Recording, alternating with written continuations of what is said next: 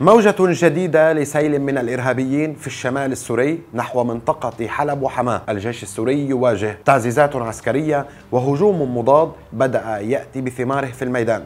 مرحلة جديدة من محاربة الإرهاب بعد هدوء دام أربع سنوات.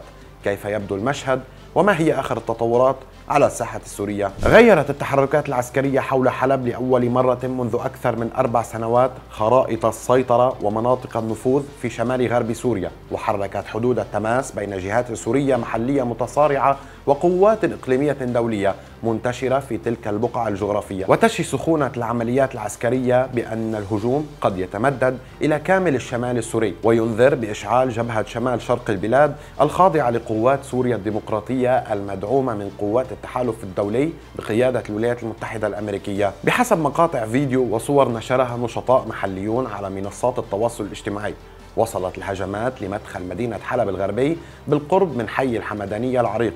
كما أصبحوا على بعد بضعة كيلومترات من بلدتي نبل والزهراء وهما بلدتان شيعيتان يتمتع فيهم حزب الله بحضور عسكري وأمني قوي هناك.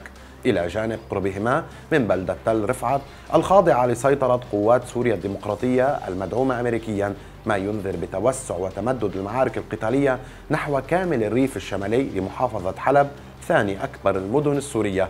من جهتها أصدرت القيادة العامة للجيش والقوات المسلحة السورية بيانا دعت فيه إلى عدم تصديق ما ينشر من شائعات وأكاذيب تتعلق بالوضع الميداني أو تمس القيادة العسكرية. وفي السياق أفاد مصدر عسكري من وزارة الدفاع السورية بوصول المزيد من التعزيزات العسكرية إلى ريف حماة الشمالي تضم أفرادا وعتادا ثقيلا وراجمات صواريخ لدعم واسناد تقدم قوة النظام السوري. وأضاف المصدر العسكري أن الطيران الحربي السوري والروسي المشترك يكثف ضرباته على محاور تحرك الإرهابيين الفارين ومواقعهم ومقارهم ومستودعات الأسلحة والذخيرة التابعة لهم محققا إصابات مباشرة وموقعا العشرات منهم بين قتيل وجريح. وبحسب صحيفة الشرق الأوسط تشير المعطيات الميدانية لمعركة حلب إلى أن الحدود التي ستشعلها المرحلة المقبلة لن تكون كما سابق عهدها. بعد اتفاق سوتشي 2020 بين الرئيس التركي أردوغان والروسي بوتين.